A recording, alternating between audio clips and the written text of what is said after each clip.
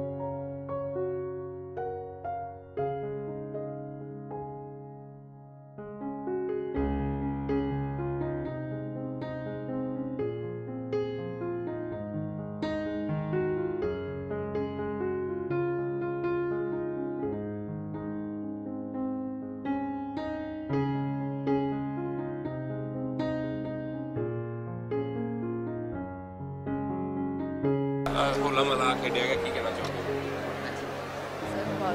ਕੀ ਕਹਿਣਾ ਚਾਹੋਗੇ? ਇਹ ਹੋਲਾ ਮਹੱਲਾ ਸਾਰਿਆਂ ਦੇ ਲਈ ਬਹੁਤ ਹੀ ਵਧੀਆ ਸੀ।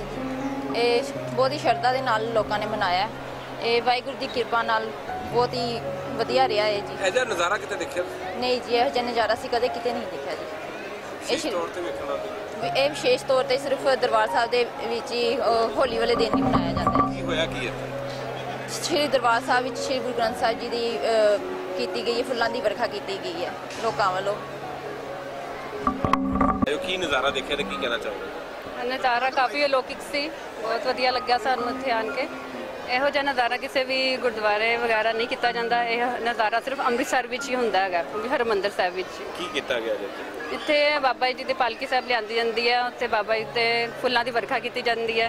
ਕਾਫੀ ਅੱਛਾ ਲੱਗਦਾ ਹੈ ਕਿ ਬਾਬਾ ਜੀ ਨੂੰ ਅਸੀਂ ਸਤਿਕਾਰ ਦਿੱਤਾ ਕਿ ਵੀ ਅਸੀਂ ਉਹਨਾਂ ਨਾਲ ਫੁੱਲਾਂ ਨਾਲ ਹੋਲੀ ਖੇਲੀ ਬਾਬਾ ਜੀ ਨਾਲ। ਕਾਫੀ ਅੱਛਾ ਲੱਗਾ ਸਾਨੂੰ। ਕਿੰਨਾ ਕੁ ਆਪਣਾ ਵਡਭਾਗਾ ਮਹਿਸੂਸ ਕਰਦੇ ਹੋ? ਬਹੁਤ ਖੁਸ਼ ਖੁਸ਼ ਮਹਿਸੂਸ ਖੁਸ਼ੀ ਮਹਿਸੂਸ ਹੁੰਦੀ ਹੈ ਕਿ ਵੀ ਅਸੀਂ ਬਾਬਾ ਜੀ ਨਾਲ ਹੋਲੀ ਨਾਲ ਖੇ- ਖੇਲੀ ਹੈ ਫੁੱਲਾਂ ਨਾਲ ਹੋਲੀ ਖੇਲੀ ਹੈ ਸਾਨੂੰ ਅੱਛਾ ਲੱਗਾ।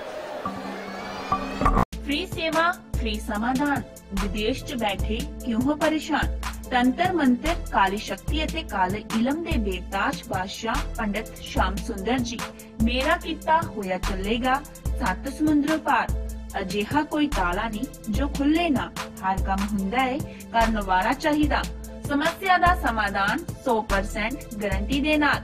ਅਸ਼ਟਾਮ ਪੇਪਰ ਤੇ ਲਿਖ ਕੇ ਲਵੋ। ਸਪੈਸ਼ਲਿਸਟ ਵਸ਼ੀਕਰਨ ਕਰਨਾ ਜਾਂ ਤੁੜਵਾਉਣਾ love marriage, lottery number PR problem ਵਿਦੇਸ਼ ਚ ਪੱਕਾ ਹੋਣਾ, ਸੌਤਨ ਜਾਂ ਦੁਸ਼ਮਣ ਤੋਂ ਛੁਟਕਾਰਾ, ਕਰਜ਼ਾ ਮੁਕਤੀ, ਸੱਸ ਨੂੰ ਪਤੀ ਪਤਨੀ ਚ ਅਨਬਨ ਜਾਇਦਾਦ ਚ ਝਗੜਾ, ਮਨ ਜਾਇਆ ਪਿਆਰ, ਬੱਚੇ ਕਹਿਣੇ ਤੋਂ ਬਾਅਦ ਘਰ ਚ ਕਲੇਸ਼, ਜੇਕਰ ਤੁਹਾਡਾ ਕੋਈ ਭੈਣ ਭਰਾ, ਪਤੀ ਪਤਨੀ, ਪ੍ਰੇਮੀ ਪ੍ਰੇਮਿਕਾ ਕਿਸੇ ਦੇ ਵਸ ਵਿੱਚ ਹੈ, ਤਾਂ ਉਸ ਨੂੰ ਬਾਹਰ ਕੱਢਣ ਲਈ ਪੰਡਿਤ ਸ਼ਾਮ ਸੁੰਦਰ ਜੀ ਨੂੰ ਤੁਰੰਤ ਸੰਪਰਕ ਕਰੋ।